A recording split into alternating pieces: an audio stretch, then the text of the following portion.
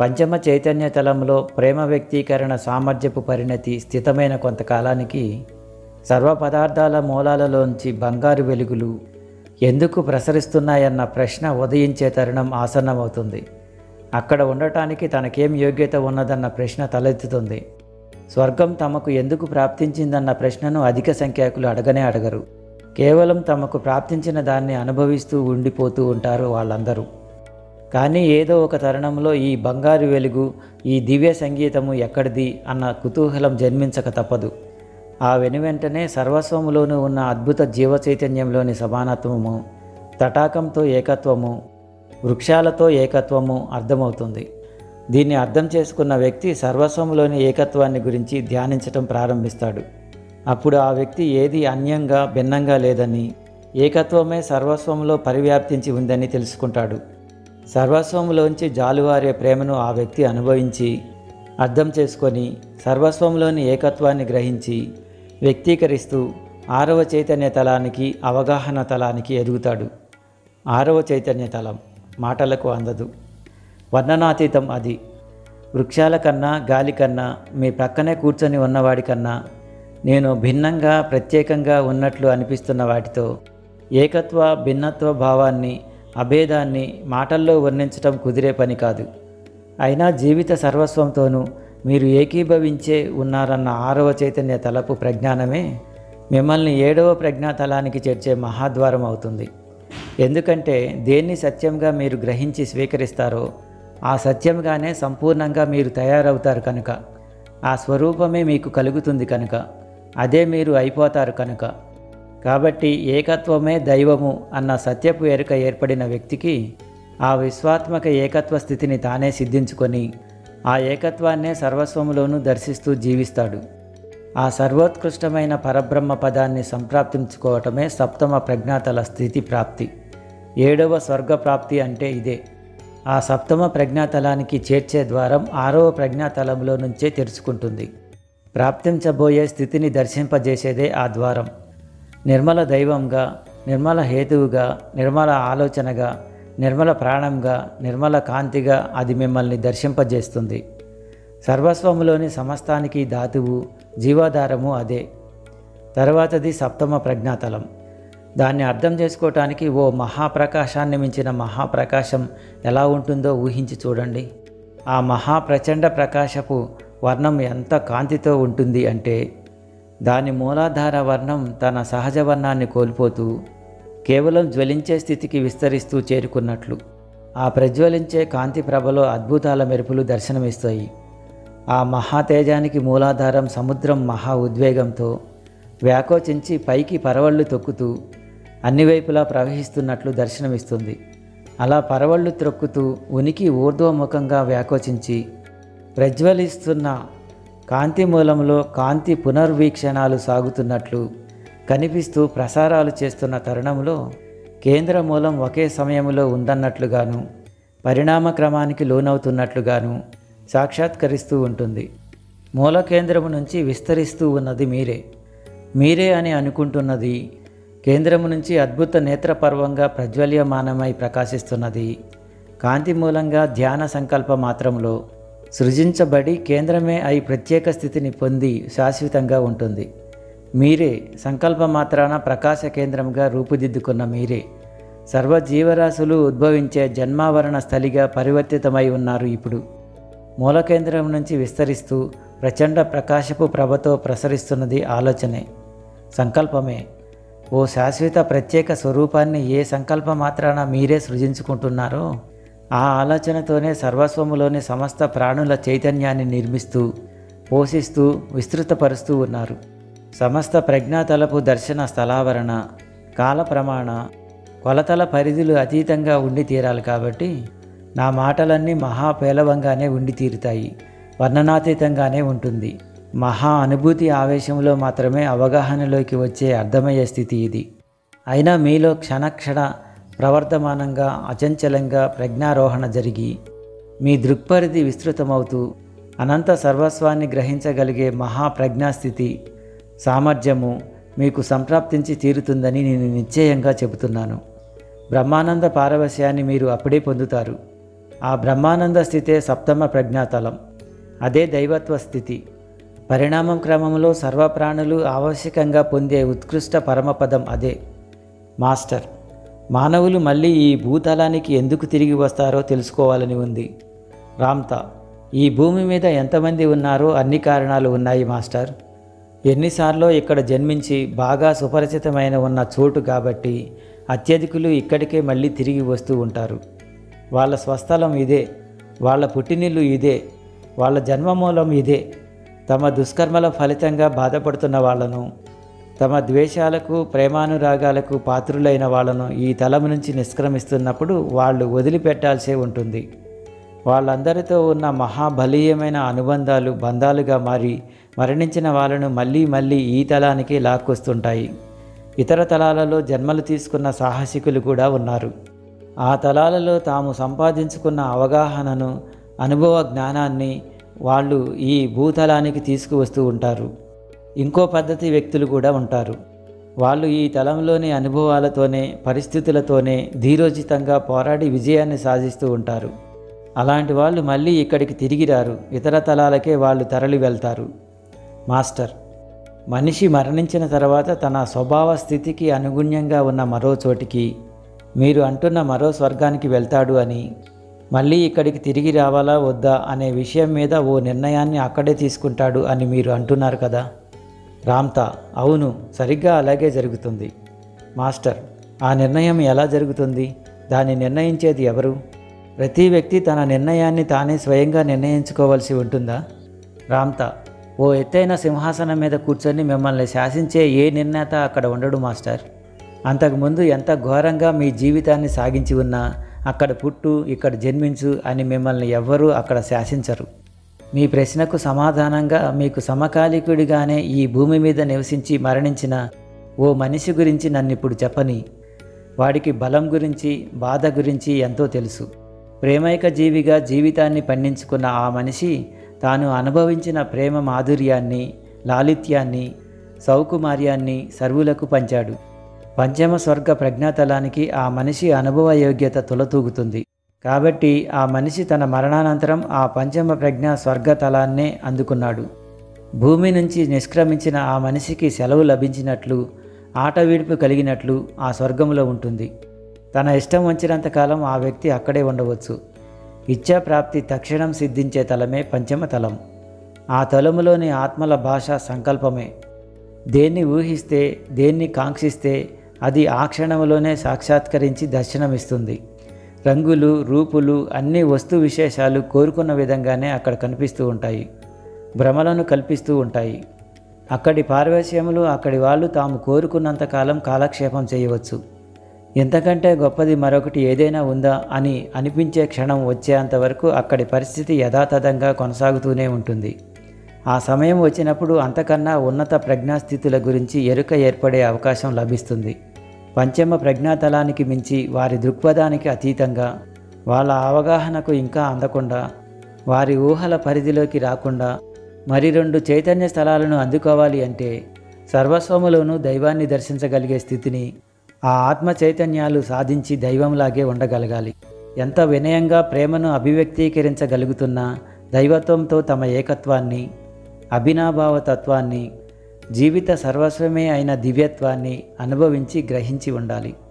ఆ పంచమ స్వర్గతలాన్ని అందుకున్న మీ సమకాలీకుడు కూడా ఇంతకన్నా గొప్ప స్థితి మరొకటి ఉందా అనే ఆలోచనను చేయగలిగాడు. సహాయం కోసం ప్రార్థించు. సహాయం అక్కడ ఎప్పుడూ సిద్ధంగానే ఉంటుంది. వెంటనే ఓ అద్భుత చైతన్య స్వరూపం మిరిమిట్లు గొలుపుతున్న పట్టు పీతాంబరాలను ధరించి అతని ముందు సాక్షాత్కరించింది. స్వర్గభోగి ఇలా అన్నాడు. ఓ మహాపురుష నాకు ఓ చింత కలుగుతుంది. ఈ స్వర్గంలో నేను కోరుకున్నవన్నీ నాకు సమకూరి ఉన్నాయి. ఇలా సముద్రాలలో పట్టుకోవాలని ఉబిళ్ళూరిన కలలు కన్నా చేపలు కూడా నాకు స్వంతాలయ్యాయి ఇక్కడ. భూమి మీద ఏనాడు సొంతం చేసుకోలేకపోయిన దివ్య గృహాన్ని ఇక్కడ సునాయాసంగా నేను పొందగలిగాను. తోటమాలి పరిశ్రమ కూడా అవసరం లేకుండా విరబూస్తున్న దివ్య పుష్పాలు ఉన్నాయి ఇక్కడ. ఎంత అద్భుత జగత్తో ఇది. నా దుస్తులే చూడండి. ఓ కొరత నన్ను బాధిస్తుంది.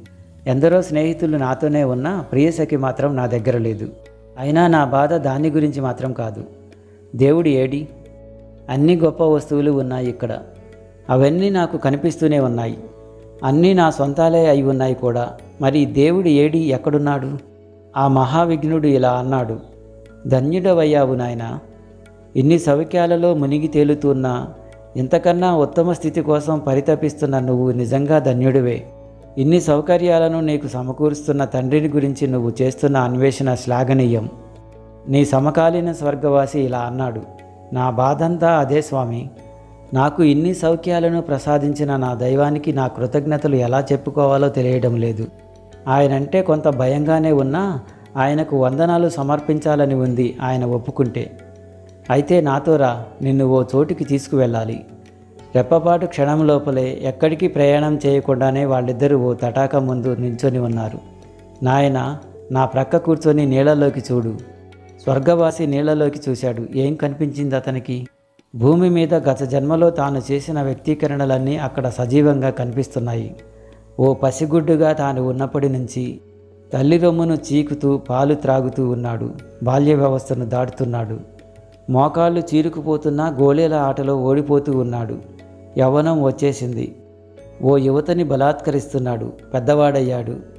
వివాహము అవధులు లేని శృంగారము పిల్లలు పుట్టడము వచ్చే అవకాశాలు అవస్థలు మిత్ర పరివారాలు ఆప్తులతో అగచాట్లు అన్నీ. స్వర్గవాసి సంభ్రమంతో తలమునకలయ్యాడు. తనను తాను ఎప్పుడూ ఆ విధంగా చూసుకోలేదు మరి. తాను ఎంతో మంచివాడే దేవుడు ఉన్నాడు అనే విశ్వసించాడు. ఎంతో బలవంతుడిగానే అధికారాన్ని సంపాదించుకోగలిగాడు.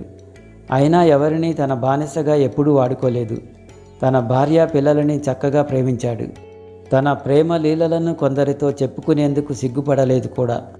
ప్రేమను గురించి అభివర్ణించి చెబుతూ బోధిస్తూ ప్రేమేక జీవిగా పేరు కూడా తెచ్చుకున్నాడు.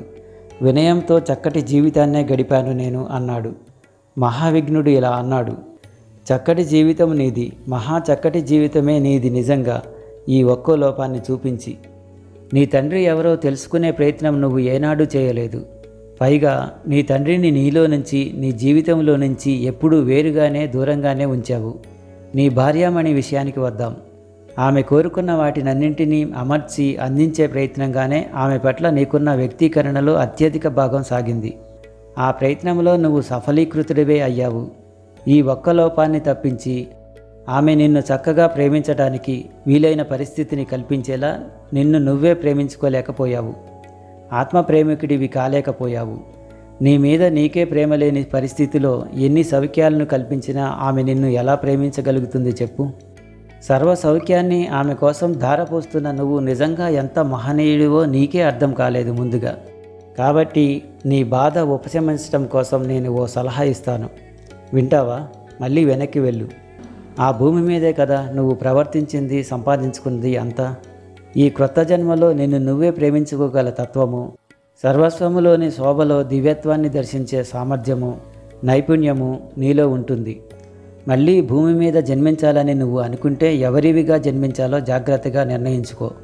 ఏ పాత్ర నీ వ్యక్తిత్వాన్ని నిర్ణయించే సరైన అవకాశాన్ని సక్రమంగా కల్పిస్తుందో ఆ పాత్రను ఎంచుకొని దేన్ని ఇప్పటి వరకు తెలుసుకోలేదో దేన్ని అర్థం చేసుకోవాలనుకుని నువ్వు ఆ శరీరాన్ని ధరిస్తున్నావో ఆ అనుభవ జ్ఞానాన్ని స్వయంగా గ్రహించు. కొంతసేపు నిన్ను ఏకాంతంలో ఉండనిచ్చి నేను వెళ్ళిపోతాను. అన్ని విషయాల గురించి సమగ్రంగా ధ్యానించు. నీకు ఇష్టం వచ్చినంత సమయాన్ని నువ్వు వినియోగించుకోవచ్చు. భూమి మీద మళ్ళీ జన్మించ నిర్ణయించుకున్నట్లయితే నన్ను పిలువు. నేను వచ్చి తగిన సహాయాన్ని తప్పకుండా చేస్తాను. స్వర్గవాసి కాస్త అలసిపోయినట్లు అక్కడ కూర్చొని ఆలోచనలో నిమగ్నమయ్యాడు. ఏనాడు పొందలేనివన్నీ ప్రస్తుతం తన దగ్గరే ఉన్నాయి. ఇక్కడి నుంచి వెళ్ళిపోతే అవేవీ తన వెంట రానే రావు. అయినా పర్వాలేదు. ఈ స్వర్గాన్ని తనకు కల్పిస్తున్న దైవాన్ని తాను తెలుసుకుంటే తప్ప తన బాధ తొలగదు. స్వర్గవాసి మళ్ళీ మహావిఘ్నుణ్ణి స్మరించాడు. తన ముందు మళ్ళీ సాక్షాత్కరించిన ఆ అద్భుత ప్రాజ్ఞుణ్ణి స్వర్గవాసి ఇలా అర్థించాడు. స్వామి భూమి మీదకు మళ్ళీ వెళ్ళి దైవాన్ని నేను దర్శించాలనుకుంటున్నాను. అక్కడికి వెళ్ళే మార్గాన్ని బోధించండి. ప్రాజ్ఞుడు ఇలా అన్నాడు. నువ్వు చేయాల్సిందల్లా ఎప్పుడు భూమి మీదకు వెళ్ళాలని నిర్ణయించుకుంటావో ఆ కాల నిర్ణయం మాత్రమే. ఏ చోటైనా పర్వాలేదు ఏ కాలమైనా పర్వాలేదు. అన్ని కాలాలు అన్ని ప్రదేశాలు మంచివే తగినవే. బలీయమైన నీ కోరికే తగిన అనుభవాలను నీకు ప్రాప్తించే పరిస్థితులు నీ చుట్టూ కల్పించి దాన్నే వాస్తవంగా మలుస్తుంది. మళ్ళీ మళ్ళీ మీ ఇంట్లోనే నువ్వు జన్మించాలని సంకల్పిస్తే నా సలహా కూడా అక్కడే మళ్ళీ జన్మించమనే. ఎందుకంటే ఇప్పటిదాకా సాగిన నీ ఈ అభివృద్ధి అంతా ఆ ఆవరణలోనే సాధ్యపడింది కనుక ఆ స్వర్గవాసి కాస్త ఆలోచనలో పడ్డాడు. కాసేపాగి మళ్ళీ ఇంకో మాట కూడా అడగాలి స్వామి మిమ్మల్ని. ఎదురుగా నాకు కనిపిస్తున్నది దైవమే అన్న ఎరుక నాలో ఎలా ఏర్పడుతుంది స్వామి? ప్రాజ్ఞుడిలా అన్నాడు జవాబిస్తూ. నిన్ను నువ్వే తెలుసుకున్నప్పుడు దైవాన్ని కూడా తెలుసుకుంటావు. ఆ మనిషి హృదయం ఆ మాటతో ఎంతో కుదుట పడింది. ఎంతో కాలం నుంచి తాను ఈ సృష్టిలోనే ఉనికిని కలిగి ఉన్నప్పటికీ మొట్టమొదటిసారిగా దైవంతో ఓ సంబంధాన్ని బహుశా ఆ దైవం తానే కావచ్చు కూడా ఏర్పరచుకోబోతున్నాడు. ఎంతో సంతోషం స్వామి నేను దైవాన్ని దర్శించాలని మళ్ళీ మా ఇంట్లోనే జన్మించాలని ఉత్సాహపడుతున్నాను అన్నాడు. శుభం మళ్ళీ నీళ్ళలోకి ఓసారి చూడు. ఏం కనిపిస్తుందో అందులో? ఆ మనిషి నీళ్ళలోకి చూశాడు. ఓ అద్భుతం అందులో కనిపిస్తుంది. తాను మరణిస్తున్నప్పుడు ఓ శిశువుగా ఉన్న తన చిన్న కుమారుడు పెద్దవాడై పెళ్ళాడి ప్రస్తుతం తన అందమైన భార్యతో రతి క్రీడలో రమిస్తూ కనిపిస్తున్నాడు. చక్కటి కుమారుడికి నేను జన్మించటమా? తండ్రినైనా నా కుమారుడికి పుత్రుడిని కావటమా? నా బిడ్డ నాకు తండ్రి కావటమా? ఏమిటి స్వామి ఈ పరిస్థితి? అంతా సరిగ్గానే ఉంది. అంతకుముందు ఓ జన్మలో అతడే నీ తండ్రి. నువ్వే అతని పుత్రుడివి. ఆ చరిత్రనే మళ్ళీ పునరావృతం చేయబోతున్నాం మనం. ఆ మనిషి మళ్ళీ కాసేపు ఆలోచన చేశాడు. ప్రాజ్ఞుడి వైపు దీనంగా చూస్తూ కానీ భార్య అంటే నాకు ఎంతో ఇష్టం. మరి ఆమెకే మనవడిగా నేను ఎలా జన్మించను స్వామి? ఏముంది ఇందులో? బాల్యం నుంచి నువ్వు మీ నాయనమ్మను ఎంతో ఆరాధిస్తూ ఉంటావు. నువ్వు పెద్దవాడివిగా అయ్యేసరికి ఎలాగూ ఆవిడ ఇలా తలాన్ని వదిలిపెట్టక తప్పదు కదా. నీ హృదయాంతరంలో ఉన్న ప్రేమతత్వాన్ని బహిర్గతం చేయటానికి ఆ ఆరాధనా భావం పనిని తాను సక్రమంగానే చేస్తుంది. దివ్యత్వపు శోభను దర్శించే తరుణం అప్పటి నుంచే ఆరంభమవుతుంది. సర్వస్వములో ఆ శోభను దర్శించటం అప్పటి నుంచే ప్రారంభించవచ్చు. ఆ మనిషి మళ్ళీ కాస్త ఆలోచన చేశాడు. నాకు ఎంతో మహోపకారాన్ని చేస్తున్న ఓ మహాత్మా సర్వము సంసిద్ధంగా సమకూరే సమయంలో నా సంతతిలోనే జన్మించటానికి నేను సంతోషంగా సమ్మతిస్తున్నాను అన్నాడు. బీజం నిక్షిప్తమయ్యే తరుణం ఆసన్నమవబోతుంది ఆ బీజం దర్శనమైన వెంటనే నీ కుమారుని తేజస్వరూపంలో నీ తేజస్సును మేళవించు అన్నాడు మహాప్రాజ్ఞుడు. అది ఎలా? అంటూ ఉండగానే మహాప్రాజ్ఞుడు అంతర్ధానమయ్యాడు. సంభ్రమాచర్యాల నుంచి తేరుకోకముందే తన తేజం తన కుమారుని తేజస్వరూపంతో కలిసిపోతున్నదన్న విషయాన్ని ఆ మనిషి గ్రహించాడు. తన తండ్రి ఉనికి తనకు అత్యంత సమీపంలోకి వచ్చి తనతో సమీకృతం అవుతూ ఉన్న ఆ విషయాన్ని గ్రహించలేని ఆ కుమారుడిలో తన తండ్రి గురించిన జ్ఞాపకాలు మనసులో రేగాయి. మా నాన్న నన్ను ఇప్పుడు చూస్తే అనుకున్నాడు. ఆ తండ్రి తన తనయుణ్ణి చూస్తూనే ఉన్నాడు మరి. మాతృగర్భంలో శిశువు రూపుదిద్దుకుంటున్నప్పుడు ఆ తండ్రి అక్కడే ఉంటున్నాడు. ఆ రూపకల్పనలను తన సంకల్పంతో తానే మలుచుకుంటూ తీర్చిదిద్దుకుంటున్నాడు. తన జీవితానికి తగ్గ విధంగా తగిన ఆశయాలకు ప్రతిరూపంగా ఆ పసికందును నిర్మిస్తున్నాడు. గర్భోత్పత్తి క్షణం నుంచి కానీ ప్రసవం తర్వాత ఓ సంవత్సర కాలం లోపు కానీ ఆ శిశువు దేహాన్ని దర్శించడానికి ఆ తండ్రికి అవకాశం సిద్ధంగా అమరి ఉంటుంది. ఎంతో ఆరాటం ఆ మనిషికి ఉంది. తనకి ఎంతో పరిచితమైన పరిసరాలతో సంబంధాన్ని పునర్నిర్మించుకోబోతున్నాడు కనుక. అందువల్లే తాను ఆ శిశువుగా మారాలని ఆ మనిషిలో ఎంతో ఆరాటం కలుగుతుంది. ఆ శైశవ శరీరంలోకి ప్రవేశించిన క్షణంలో ఆ మనిషి తన్ను తానే మరిచిపోతాడు. ఆ శిశువుకు తెలిసే మొదటి విషయం గళంలో నుంచి తన్నుకు వస్తున్న దగ్గు. ఆ తర్వాత తన కన్నీళ్ళను తుడుస్తూ ఉన్న వారి కర స్పర్శ. తన శరీరాన్ని ఆప్యాయంగా రక్షిస్తూ పొత్తిళ్ళ గుడ్డల్లోని సౌఖ్యము ఇవే. ఇప్పుడు నేను వినిపించిన మనిషి కథ వాస్తవంగా జరిగిన కథే. ఆ మహాప్రాజ్ఞుడు తన వ్యక్తీకరణ కోసం ఆ మనిషిని ఎంచుకోలేదు. కేవలం ఓ మనిషికి సహాయం చేయటానికి ఆయన ఓ చోటికి అతన్ని తీసుకువెళ్ళి ఓ మాయా సరస్సును అతనికి చూపించాడు. ఆ మనిషి తన ఆత్మదర్శనాన్ని స్వయంగా చూసుకొని తన జీవితాన్ని తానే పునరావలోకనం చేసుకొని భవిష్యత్తు కార్యక్రమాన్ని స్వయంగా తానే నిర్మించుకోవడానికి తోడ్పడ్డాడు. గర్భస్థ శిశువుగా ఉన్నప్పటి నుంచే ఆ ఆత్మ చైతన్యం ప్రేమేక జీవిగా పరిణతిని సాధించింది. స్వయంగా దివ్యత్వాన్ని గ్రహించడానికే అటుపై దైవమే అయి ఇలా తలం మీద నివసించడానికే సంకల్పించి సంప్రజ్ఞ మహాతలాన్ని ఆ అవతరణలోనే సుసాధ్యం చేసుకున్న ఆ మహనీయమూర్తే బుద్ధుడు. ఎంపికకర్తలు ఎప్పుడూ మీరే. ఎంచుకుంటున్నది ఎప్పుడూ మీరే. ఎవరు మిమ్మల్ని ఎంచుకోరు? పంచమ ప్రజ్ఞాతలములో పరవశించి ఉంటున్న ఆ ఆత్మ చైతన్యం ఈ భూలోక తలంలో దైవాన్ని దర్శించాలని ఎంచుకోకుండా అక్కడే ఉండిపోయి ఉంటే ఎప్పటికీ ఆయన అక్కడే ఉండిపోయి ఉండేవాడు. ఆ భగవానుడి దివ్య తేజస్సుతో దివ్య ప్రబోధంతో ఈ భూతలం ఆశీర్వదింపబడి ఉండేదే కాదు. నెక్స్ట్ టాపిక్ మరణమా అధిరోహణమా? మరణించే తీరాలన్న శాసనం ఏదీ లేదు ఇక్కడ. సశరీరంగా ఇక్కడి నుంచి నిష్క్రమించటం ఎంతో సులభ సాధ్యమే. పునరాగమనం కోసం పునర్జన్మను తీసుకోకుండా యథేచ్ఛతో ఎన్నిసార్లైనా ఇక్కడికి వచ్చి మళ్ళీ వెళ్తూ ఉండవచ్చు.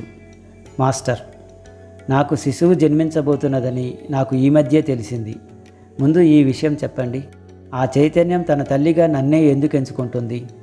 తల్లిదండ్రుల్ని మనం ఎలా ఎంచుకుంటాం? రామ్తా వ్యక్తిత్వ ప్రకటన మాధ్యమమైన శరీర వాహనాన్ని మనకు కల్పించే తల్లిదండ్రుల్ని మనం ఎలా ఎంచుకుంటాం? అని కదా ప్రశ్న. ఎన్నో కారణాలు ఎన్నో సమాధానాలు ఉన్నాయి దీనికి. ఈ భూతలం మీద మరణించి మళ్ళీ ఇక్కడి జన్మనే కోరుకుంటున్న వాళ్ళు ఎందరో తల్లిదండ్రుల కోసం నిరంతరము నిరీక్షిస్తూనే ఉన్నారు. గత జన్మల్లో సంతతిని పొంది ఉన్నవాళ్ళు జీవజన్యు జ్ఞానాన్ని ఆవశ్యకంగా సంతరించుకునే ఉంటారు. తల్లిదండ్రులు అంటే వీళ్ళే. పునర్జన్మల్ని కోరుకొని తప్పిస్తున్న వాళ్ళు వీరి ద్వారా మాత్రమే ఈ తలానికి మళ్ళీ చేరుకోగలుగుతారు. గత జన్మల్లో తమకు సుపరిచితులై ఉన్న తల్లిదండ్రులనే లేదా తమ సంతతిలోని వాళ్ళ మధ్య మళ్ళీ పునర్జన్మనే ఎంతోమంది సాధారణంగా ఎంచుకుంటూ ఉంటారు. తమకు ఇదే శరీరాన్ని ఇచ్చి తమ భావ వ్యక్తీకరణకు వీలు కల్పిస్తారన్న ఉద్దేశంతో ఏమాత్రమూ పరిచయం ఉండని వాళ్ళను కూడా తల్లిదండ్రులుగా ఎంచుకోవడానికి సంసిద్ధులై ఉన్నవాళ్ళు కూడా ఎందరో ఉన్నారు. తమ భావ వ్యక్తీకరణకు తగిన శరీరాన్ని కల్పించగల తల్లిదండ్రుల కోసం కొన్ని వందల సంవత్సరాల తరబడి ఎదురు చూస్తూ ఉన్న వాళ్ళు కూడా ఎందరో ఉన్నారు. వాస్తవంగా ఎవరు ఎవరికి తల్లి కారు తండ్రి కారు? జగన్మాతృత్వ పితృత్వ మూలానికి దైవానికి అందరూ సంతానమై ఉన్నారు. ఇక్కడి ప్రతివారు సోదరి సోదరులు రక్త సంబంధికులే. మీరు మీ సంతతి మీ తల్లిదండ్రులు మీ పూర్వీకులు సైతం ఏకాత్మకమై దివ్య మానసంలో సమభాగస్థులే. మహా సౌందర్యమూర్తిగానో మహా సంపద స్వరూపుడిగానో ఏ దౌర్భాగ్య దామోదరుడిగానో నివసించటం కోసం ఈ భూతలం మీదకు తాము రాబోవటం లేదని జన్మించడానికి ముందే ప్రతి ఒక్కరికి తెలుసు. ఇలా తలం మీద జీవించి భావ పరిపక్వత జ్ఞానాధ్యాయాన్ని కొనసాగించి ఆత్మ పరిపూర్ణత్వాన్ని స్వయంగా పొందటమే ప్రతి ఒక్కరి మహదాశయం. ఇలా తలం మీద ఇతర తలాల మీద జన్మలను స్వీకరిస్తున్న సర్వ చైతన్యాలకు జీవితావకాశమే పరమ పెన్నిది తనతో శాశ్వతంగా స్థిరపడి ఉండే మహద్భాగ్యం ఇదే. నీ తండ్రి తండ్రి అయిన వాడే నిన్ను ఇప్పుడు తన తల్లిగా ఎంచుకున్నాడు. తన వంశంలోనే తాను మళ్ళీ జన్మించాలని ఆయన ఓ శతాబ్దం ముందు నుంచే సంకల్పించుకొని ఉన్నాడు. నీ రక్తాన్ని పంచుకొని పుట్టబోయే ఆ అవకాశం నీ సంకల్పం ద్వారా ఆయనకు ఇప్పుడు లభించింది. తన వ్యక్తిత్వ ప్రకటనకు తగ్గ దేహాన్ని ఆయనకు నువ్వు సమర్పించబోతున్నావు. వంశక్రమంలో ఇన్నాళ్ళుగా ఆయన నిరీక్షిస్తూ ఉన్నది. ఈ స్వరూప మూర్తిత్వ శరీర ప్రాప్తి కోసమే. ఇప్పుడు ఈ సమావేశంలో ఉన్నవారి కాంతి దేహాల ఆవరణలో గర్భోత్పత్తి కోసం ఎంతో కాలం నుంచి నిరీక్షిస్తూ చైతన్యాలు బారులు తీరు ఉన్నాయి. మాస్టర్ అయితే నాకు ఓ కొడుకే పుట్టబోతున్నాడన్నమాట. నా ముత్తాతే పుడుతున్నాడన్నారు కదా మీరు. రామ్తా అవును నీకు ఇష్టమే కదా? మాస్టర్ అవును నాకు ఎంతో ఇష్టం. రామ్తాజీ మరో ప్రశ్న. మళ్ళీ ఇక్కడ జన్మించడం కోసం మనం అందరం గర్భప్రవేశ మార్గంలోనే పయనించి తీరాలా? రామ్తా ఈ ప్రశ్నకు నేను జవాబు ఇవ్వటానికి ముందుగా ఈ భూతలం మూడు పరుదుల వాస్తవంగా నీకు అవగతమవుతున్నదన్న విషయాన్ని నువ్వు గ్రహించి తీరాలి. ఓ ఆలోచన పదార్థం అనే పేరుతో స్వరూపంతో మూడు పరిధులలో పరివ్యాప్తించి దర్శనం ఇస్తున్న తలం ఇది.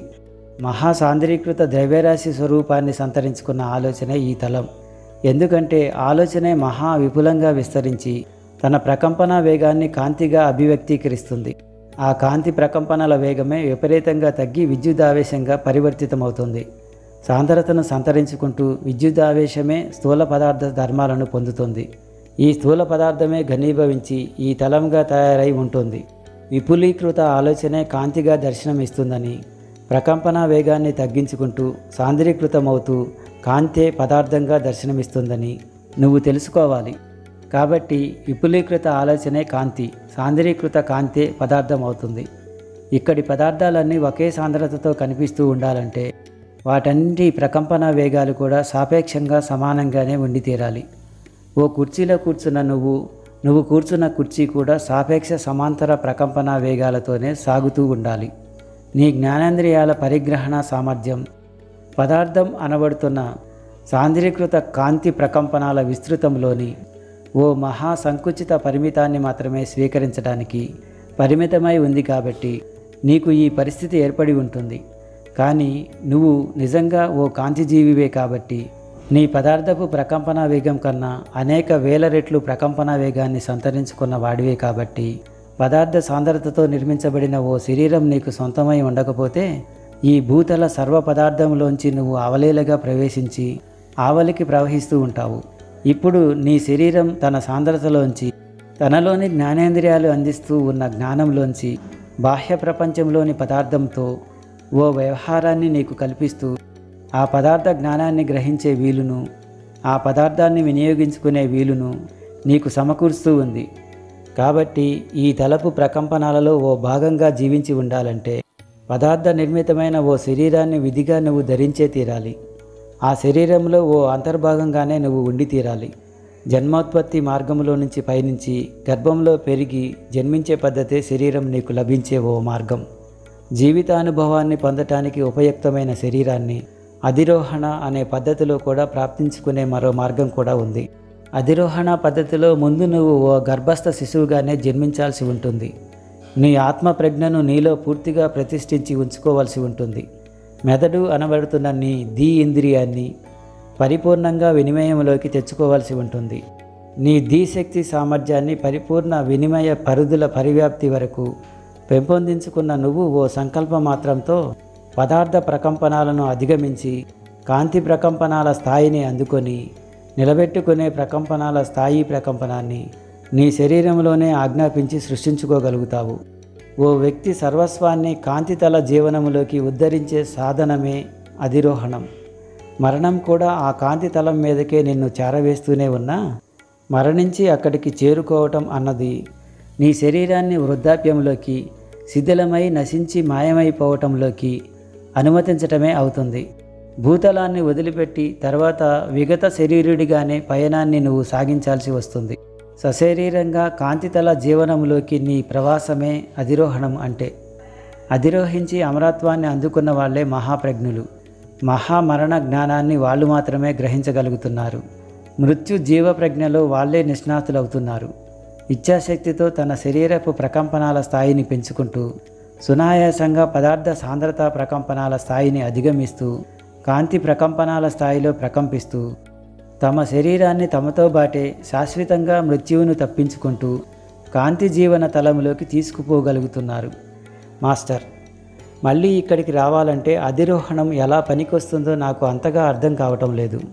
రామ్తా చూడు మాస్టర్ ఒక్కసారి నీ శరీరాన్ని నీతో పాటు అక్కడికి తీసుకు వెళ్ళగలిగావంటే నీ శరీర స్థాయి ప్రకంపనాలను పెంచుకునే తగ్గించుకునే సామర్థ్యం కూడా నీకు ఎప్పుడూ ఉంటుంది. మళ్ళీ ఈ తలపు ప్రకంపనాలలోకి నువ్వు రావాలని నిశ్చయించుకుంటే ఏ శరీరాన్ని నువ్వు వెతుక్కోనక్కర్లేదు. ఏ శరీరాలను ఎంచుకోనక్కర్లేదు. ఏ తల్లిదండ్రులనో ఏ సంసారాన్నో ఎత్తుక్కోనక్కర్లేదు. మళ్ళీ నువ్వు ఇక్కడ పుట్టాల్సిన అవసరమే ఉండదప్పుడు. ఏ సామాజిక శిక్షణతోనో ఏ పరిమిత ఆలోచన పరిధులలోకి చిక్కుబడటంతోనో మనస్సులో మాటలను పైకి చెప్పటానికి గింజుకోవటంతోనూ నీ నిజతత్వాన్ని మళ్ళీ గుర్తు చేసుకోవటంలోనూ ఏ ప్రతిబంధకాలు అప్పుడు నీకు ఉండవు. ఏ కాంతి మూలంలోంచి ఈ స్థూల శరీరం అవతరించి ఉందో ఆ కాంతి మూలంలోకే మళ్ళీ నీ శరీరాన్ని ఉద్ధరించుకోవాలన్న జ్ఞానాన్ని మళ్ళీ నువ్వు అప్పుడు నేర్చుకోవనక్కర్లేదు ఈ భూతలం మీద జీవితం అంతా ఓ భ్రమ మాత్రమే అని ఓ ఆట మాత్రమే అని మళ్ళీ నువ్వు నేర్చుకోనక్కర్లేదు. ఒక్కసారి అధిరోహణ విద్యను నువ్వు నేర్చుకున్నావంటే శాశ్వతంగా నువ్వు నీ శరీరాన్ని నీతోనే నిలిపి ఉంచుకోవచ్చు. ఆ శరీరంతోనే ఎప్పుడు కావాలన్నా ఎన్నిసార్లు ఇక్కడికి వచ్చి మళ్ళీ వెళ్ళిపోతూ ఉండవచ్చు. ఈ తలం మీదకు రావాలనుకుంటున్నప్పుడు నీ ప్రకంపనాల స్థాయిని సంకల్ప మాత్రంతో ఈ తలం స్థాయికి తగ్గించుకోవటానికి తప్పించి మరింకేం చేయనక్కర్లేదు. తక్షణమే నువ్వు ఇక్కడ సాక్షాత్కరిస్తావు. అధిరోహించే సామర్థ్యం ఇక్కడ అందరికీ ఉంది. మీ దేహాల భ్రమ వెనుక దాక్కొని ఉన్న ఆత్మే సర్వ విశ్వాలకు సృష్టికర్త కనుక.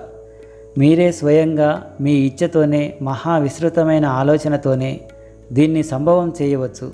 ఆలోచనల తప్పపుల్ని ఎంచకుండా అన్ని ఆలోచనలను ప్రీతితో స్వీకరిస్తూ ఉండగలిగే నిజస్థితి మీకు కలిగినప్పుడు ఏ లక్ష్యాన్ని అయినా అందుకోగల సామర్థ్యం మీకు అలవోకగా సిద్ధిస్తుంది.